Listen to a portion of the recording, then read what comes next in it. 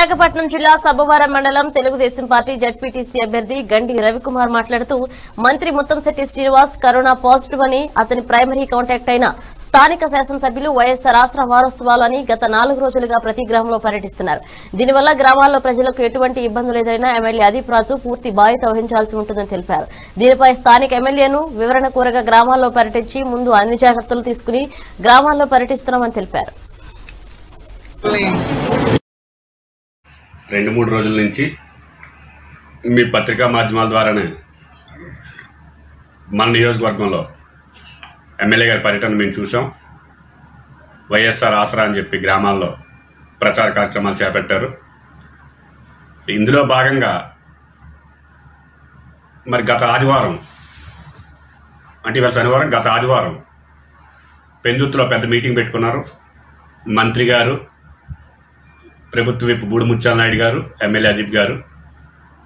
ఏదో హంగామా చేసుకున్నారు. హంగామా చేసుకుని ఆయనకి సన్మానం కూడా జరిగింది వీళ్ళ ముగ్గురికి. వీళ్ళ ముగ్గురికి కలిపి ఒకే పూలదండ వేయడం. మేము మరుసటి రోజు సోమవారం పేపర్లో చూసాం అవన్నీ.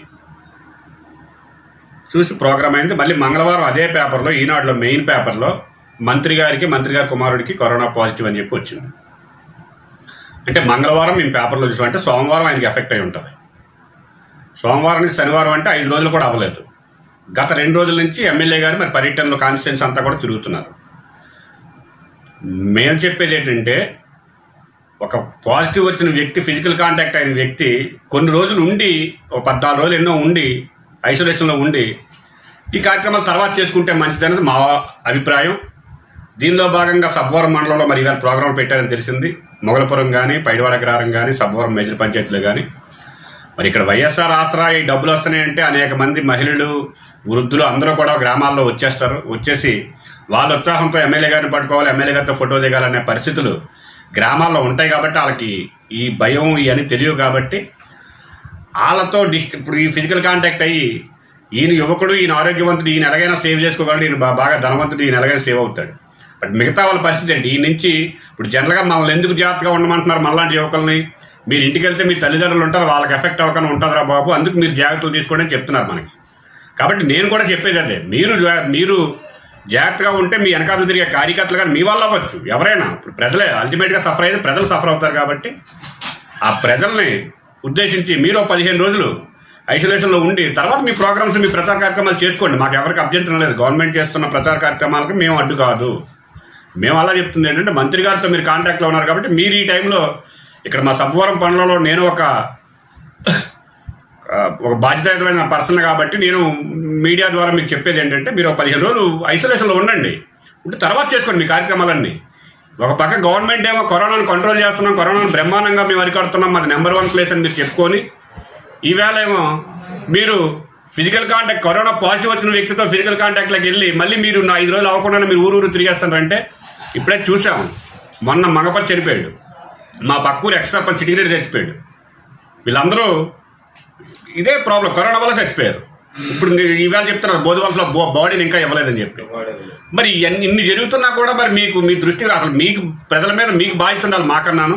మీరు గవర్నమెంట్లో ఉన్నారు ఒక బాధ్యతయుతమైన శాసనసభ్యులు మీరు ఇక్కడ.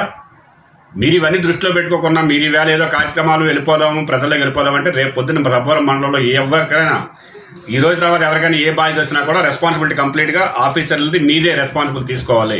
ఇతరులకి స్ప్రెడ్ చేయడానికి ఇలాంటి కార్యక్రమాలు పెట్టుకుంటున్నారా? పెట్టుకో పెట్టుకోవచ్చురా పెట్టుకుంటున్నారా? మరి ఎవరైనా అందరూ యువ ఎమ్మెల్యే గారి లాగా ఇమ్యూనిటీ వాళ్ళు ఉంటారు కదా? ముసలోళ్ళు ఆడవాళ్ళు వృద్ధులు లాంటి వాళ్ళ సంగతి ఏంటి? ఇది చాలా అన్యాయం కదా అని చెప్పి మీ ప్రతిపక్షం ఆరోపణ. విపక్ష నాయకులకి ఇవాళ ఎక్కడా కూడా ఈ కరోనా కష్ట సమయంలో ఏ ఒక్క రోజైనా కనీసం ఒక్క రోజైనా మీరు ఇంట్లోంచి బయటికి వచ్చి ప్రజల తాలూకా సమస్యలు ఏంటి ప్రజల తాలూకా ఇబ్బందులు ఏంటి అనేటువంటిది కనీసం పట్టించుకున్నటువంటి పరిస్థితి లేదు. కానీ మేము నిరంతరం కరోనా కష్ట సమయంలో కూడా ప్రభుత్వం తరపున కానీ వ్యక్తిగతంగా కానీ అన్ని రకాలుగా ప్రజలకు అండదండగా ఉంటూ ప్రజలకు కావాల్సినటువంటి కరోనా కష్టంలో ప్రతి ఒక్క అవసరాన్ని కూడా మేము గుర్తించి వాళ్ళ అన్ని విధాలుగా కూడా మేము సహాయపడుతున్నాం. ఈరోజు ఈ కార్యక్రమం వాళ్ళు మేము ఎంత క్లియర్గా మినిమం సోషల్ డిస్టెన్స్తో మినిమంతో చేయాలి అని నిర్ణయించుకున్నప్పటికీ కూడా వాళ్ళు జగన్మోహన్ రెడ్డి గారి మీద అభిమానంతో వాళ్ళ అభిమానాన్ని చాటుకోవడానికి పెద్ద ఎత్తున మహిళలందరూ కూడా వస్తున్నారు. మేము కూడా ఎంతమంది వస్తారని మేము కూడా ఎక్స్పెక్ట్ చేయలేదు.